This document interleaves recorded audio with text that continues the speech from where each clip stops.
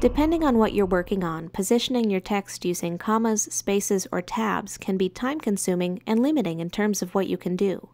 This schedule, for example, isn't very easy to read. That's where tables come in handy for organizing your text in rows and columns instead of paragraphs. To insert a new blank table, all you have to do is go to Insert, Table, then move your mouse over the squares for the number of columns and rows you want. The table I need for my schedule is going to be pretty big, 7 columns and 5 rows. Now click, and the table appears in your document. But I don't have to start from scratch. In this case, I can convert the text I already have into a table in just a couple steps. Start by selecting your text, then go to Insert, Table. Now convert text to table and choose one of the options here for separating your text. This is how Word knows what to put in each column.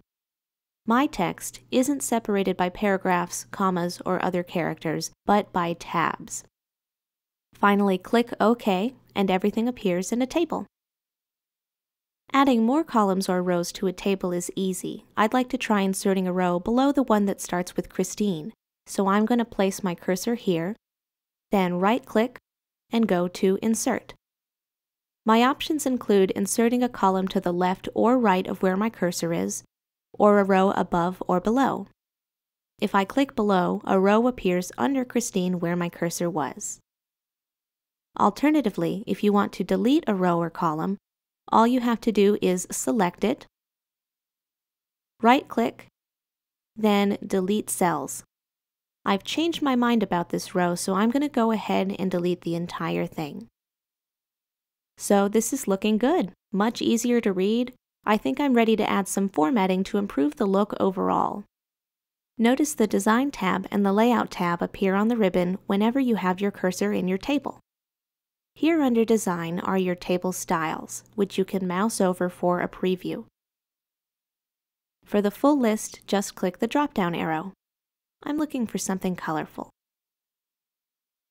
Once you've chosen a style, you can customize the way it's laid out using the table style options here. For example, you can decide whether or not to display special formatting for the first column or the header row. These will all have a different effect depending on the table style you're using, so you might need to experiment to get the look you want. You may have noticed that this table has a border around the outside and in between the cells. To add or change the border anywhere on your table, just select the cells, then go to Draw Borders. You can select a line style, line weight, and color for your border. Now go to the Borders drop-down menu and choose where you want the border to go. I want mine around the outside of these cells. There we go. You can make further modifications to things like the size and layout of your table by going to the Layout tab. Again, place your cursor anywhere in your table. Now go to Layout. The first thing I'd like to do is make the table a little bigger. In fact, I can drag the bottom border to the size I want or adjust the measurements here. Then click Distribute Rows to make the rows even again. Now I'm going to select the entire table to change the text alignment using these icons in the alignment group. I think centered looks the best. Last, I'd like to combine these three cells into one by selecting them and then clicking Merge Cells. You can even play with the direction of the text by clicking Text Direction.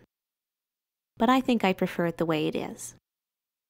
As you can see, the Layout tab gives you many options for customizing your table so it works for you and the information you want to display. Like what you just saw? Rate it. Add a comment. Subscribe to our channel. The freedom to learn. What you want, when you want. Absolutely free. GCF learnfree.org.